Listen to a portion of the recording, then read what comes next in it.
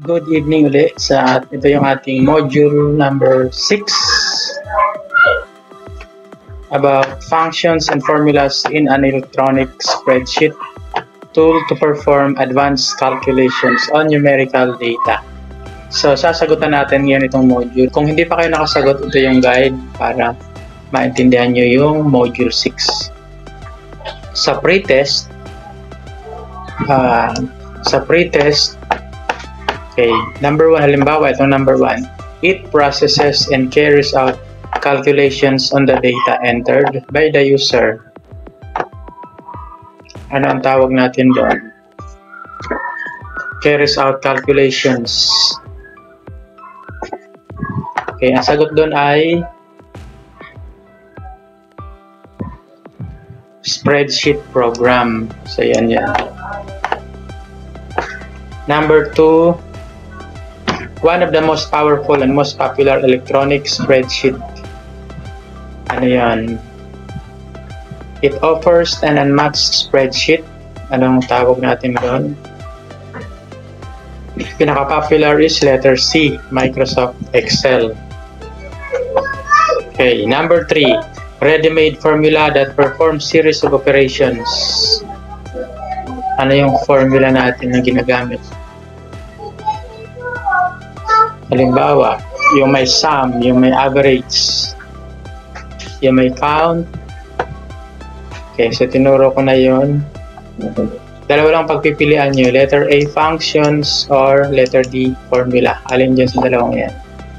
Number 4, which of the following doesn't affect the text fonts? Pag magta-type ka ng text, alin dito yung hindi mo na hindi mo kailangan. Okay, so isa lang yung sagot, A, B, C, or D. Number 5, how should the following formula be written? I-multiply natin ang cell A1 times 6 and divide that by 4. So, paano natin yun sasagutan? Halimbawa, A, B, C, or D. So, ito ang sagot dyan dapat ay equals A1 times 6 divided by 4. O, hanapin mo dyan, nandyan yung tamang sagot. So, next, sa looking back, page 3. Pag madali na ito, tingnan nyo lang yung past lessons natin, yun is nandun yung sagot niyan. Itong introduction, na-discuss na natin ito. Yung range lang pala, iulitin ko yung range. Ha? Pag sinabi natin range, ganito ang range. Lakihan ko lang ito.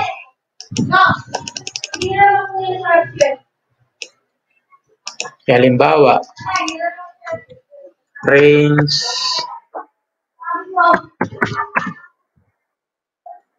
F4 F4 to H11 H11 Kaya asan yung F4? Halimbawa, ito yung F4, kulayan ko na ng yellow. Yung H11, ito yung H11, kulayan ko na rin siya ng yellow rin, yellow rin.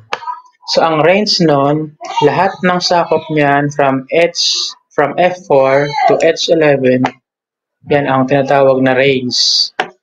Any number na nandyan sa loob ng range na yan ay masasama sa operation or multiplication, division, kung addition yan. so, yun ang range niya. Pag sinulat mo yun, F4 to H11. Ang ibig sabihin ng column is 2. F4 to H11. So, lahat yan ang sakop niya. From, yung F4 from left to right. So, yung H11 up to down. So, yun, sakop niya lahat yan. Ito, ito, yan. Yan ang range niya. Balikan natin doon. Sa function, sinuro ko na yan. Yung may sum, average, arguments, yung number na nasa loob ng kasunod ng na nasa loob ng formula. Pwedeng kasunod ng function yan. Okay. So, ito, ito mga mga naituro ko ng karamihan dyan. Yan, ituro ko na yan. Ito yung uh, title, uh, Parts of Windows X Spreadsheet.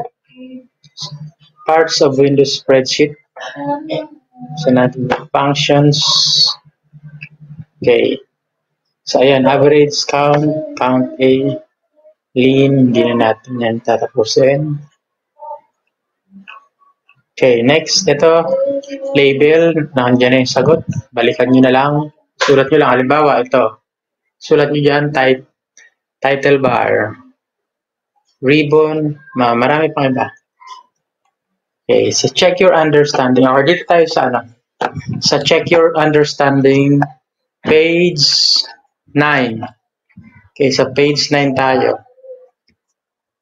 Ito yung direction niya kung paano gagawin. Gagawa ka ng spreads. Create an Excel file for the expenses below. Using formulas and functions discussed, calculate the following. Okay, ang gagawin natin dito, pwedeng sum, pwede rin yun. So, gagawin natin ito ngayon. Expenses. Ito yung nagastos sa, sa mga pinamili. Items bought, puto, kalamay, sapin-sapin. Quantity, 10 pieces na puto, 12 pieces na kalamay, at 15 pieces na sapin-sapin. Cost per unit, ibig sabihin nito ang price bawat piraso. Ang puto 6 peso each, kalamay 12 peso each, sapin-sapin 15 peso each. Total niya dito nakalagay. So gagawin natin yan. So paano gumawa ng Excel? Pwede mong i-type dito, Excel. Then, pag kinlik mo yan, ma-open mo yan. Pero,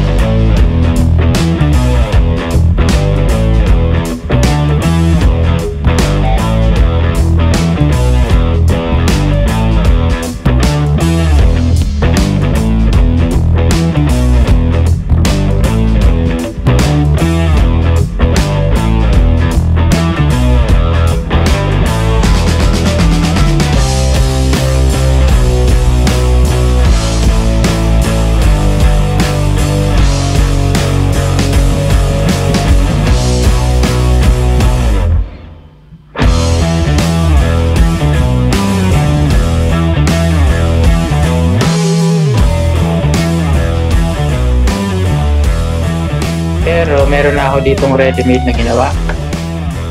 Tutuloy na lang natin.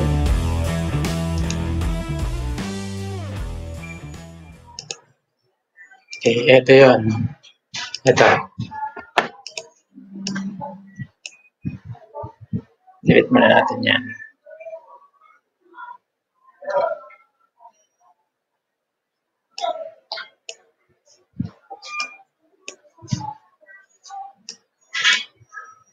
Okay, dito muna tayo. Sa, sa page 6, check your understanding. Ito yan. Uh, module 6, sa check your understanding, module 6, page 9. Okay, ito yun yung kanina nakalagay doon. Expenses, items, bought, puto. Okay. Dito sa total, kunin natin yung sagot ng puto. So, ang formula natin always start with equal sign, then gagamit tayo ng uh, konti lang naman yan, mas mabilis gawin kung gumamit tayo ng sum function equals, ulitin natin. So, 10 plus 10, ano kaya ito? Multiplication or addition. So, kailangan makapag-decide ka doon. Kasi pag mali yung operation, mali rin yung magiging sagot. 10 puto, 6 peso ang isa. Okay, so anong gagawin natin dito? Ang subtotal niya is 10 puto sa isang isa. Magkano lahat? So, ang gagawin mo is multiplication equals ano ang cell address ng 10? 10 is B4. Isulat natin B4. Type ng B4 times yung asterisk sign sa keyboard. 6. Hindi natin isusulat ang 6. Ang isusulat natin ay ang cell address ng 6 is which is 6 4 or C4 C4 then enter. So yun ang sagot. Ganon din ang gagawin sa 12 equals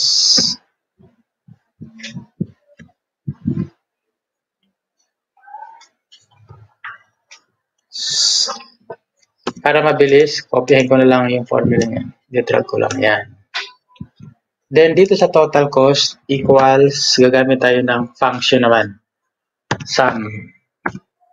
I-add na natin yung tatlong nasa yung 60 pesos, 14 pesos, and 25 pesos. Sum ng D4, D4 to gamit tayo ng range hanggang dito sa D6. D6.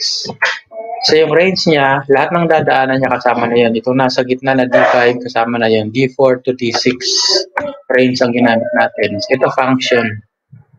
Okay, then enter. So yun yung sagot. Okay. Ang gagawin natin, kung gusto mong maging peso sa'yo ng sagot, i-highlight mo lang yon Then right click format cells, gagawin natin is currency. So, two decimal place, peso sign. So, ito yan ang gagamitin natin. Okay. So, yan. Meron na siyang peso sign yung ating sagot. Ganon din dito. Pwede rin yan. Format cells, currency. Okay. Okay, peso sign na siya. Next. Okay, lahat ng answer natin ay nakalagay sa yellow. Sasagutan nyo na sa yellow. So, ito yung number na kailangan natin. Ito naman ang nasa post-test module 6. Post-test module 6 page 10. Ito yon. Aling Juana Store, sales for the third quarter. Yung Benta niya mula September hanggang December. Ang tinda niya ay ano item, kalamig, tokneneng, okoy, fishbowl at kikiam. Noong September, ito yung kanyang benta, 1, 2, 2 2,100, 900, 1,500, 1,670. October, ito naman ang benta niya, November at December. Okay, sasagutan natin ngayon sa total. So, ito total natin yan. Pag sinabing total, automatic yan ay addition. So, i-add natin itong September, October, November, December dito. So, gagawin natin yan sa Excel. Meron na akong ginawa dyan. Ito yon. Ito yung item. Palamig, toknaning, okol, fishball, kikiam. So, ano yung total? Gagamit tayo ng formula or function. Pag formula, ang gagawin lang natin equals B14 plus C14 plus D14 plus E 14. Pero ang gagamitin natin ay function. So, equal sign, equal sum. Sum function ang gagamitin natin. So, ang range natin mula sa B14 hanggang E14. At tingnan niyo yung formula, ito. B14 hanggang E14, ito yon. Lahat ng dadaanan mula sa B hanggang E kasama na yon. Yun ang tinatawag nating range. So pag nailagay mo na yan, enter, so meron ka ng sagot. Ganun din ang gagawin sa Tokneneng, Okoy, Kikiam. Ganun din ang sagot doon. Yan, sagutan na natin kunyari. Then, sa total sales, total pa rin yun. So, ibig sabihin, addition pa rin tayo. Gagamit pa rin tayo ng sum function. Sum. Ang i-add naman natin, yung nasa ibabaw. Yung total ng palamig, total ng tukneneng, total ng okoy, total ng fishball, to- total ng kikiam. So, ang range niya is F14, F14 to tatype mo lang yung yung tatype mo lang yung colon. Then, yung pinakadulo niya is F18. Then, i-close mo, close parenthesis. So, yun. Sakop niya na lahat yun, lahat ng range na yan. Kung dadaanan niya, lahat ng nasa gitna ng F14 to F18, kasama na yun. Yung F15, 16, F17, sakop na yun. Kasama na sa computation. Yun ang range niya. Enter. So, yun yung sagot. Okay, gawin uli nating ah ano ito? Gawin natin siyang with peso sign, with comma, and with two decimal places. So, i-highlight mo lang kung ano yung kailangan mo. Kaya itong isa na hiwalay. Oh, pindutin ang control sa keyboard and i-click mo yung nahiwalay ng range para kasama yan. So, yun, lahat yan ma masasama natin sa formatting. Then, right-click. Format cells. Currency. Ayan, to decimal places dapat. Tapos, dito, peso sign. Dito yung unang-una yung yung nasa unahan. Then, click OK. So, yan. Ah. So, yan. So, ang assignment nyo, sasagutan nyo dito. Then, sasagutan nyo rin yung lahat ng nasa yellow na cells, yun ang sasagutan nyo. Aba, Okay. traffic tayo.